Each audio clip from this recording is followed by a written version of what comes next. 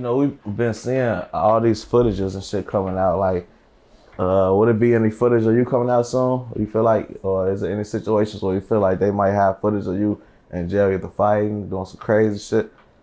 I don't give no fuck what come out. they ain't gonna see no fuck shit though. I tell you that. Oh, bro. What's your thoughts on what you've been seeing, like with the with the Lil Jay shit, or even the Von, the Von situation? No comment. On either one? No comment. I I ain't gonna ask you about them specifically, but I'm gonna ask you about a situation.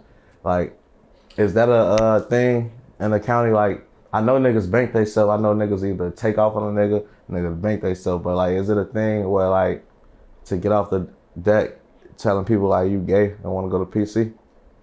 I never did it, so no comment. oh, bro. So like, have you ever been in a situation where like you get moved to a deck and it's not good for you, to where you you then need to move around? No. If you was to get in a situation, how would you handle it? Man, we just gonna fight, bro. Just roll me up, bro. they gonna move me around anyway. I'm gonna go to Cermak, get checked out. It's over with. Oh, bro. It is what it is. I ain't gonna do all that shit. Do you feel like certain people, they might not get the opportunity to fight depending on like how much they did on the streets?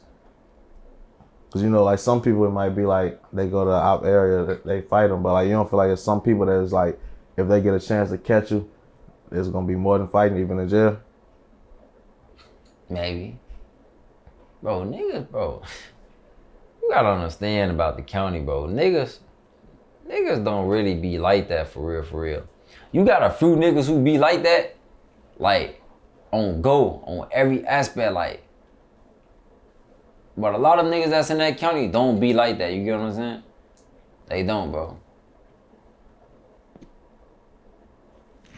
So I seen a, uh, a old interview with you, basically like when you was a kid, and it's it's like that's that's why I be wanting to like really interview motherfuckers and see like what's two people for real, cause like you seeing like a kid, like you you probably was in the streets or probably like getting into the shit, but like I still seen a kid energy, you know, like you was still dancing, doing a Dougie, shit like that, like having fun, like what happened to that? Like, what happened to the dancing and shit in, in, in, Chicago? Like, when did that start being like not cool or frowned upon? Cause I remember a point in time, a lot of niggas was doing that shit. Most definitely. A lot of people was dancing, bro. A lot of people was doing the Dougie. There wasn't nothing wrong with it. I was a shorty. I got older, bro. The older I got, the more I wanted to be in the streets, bro. That's it. Was it like fun to you, or is it like other reasons behind it? I just started seeing shit, bro.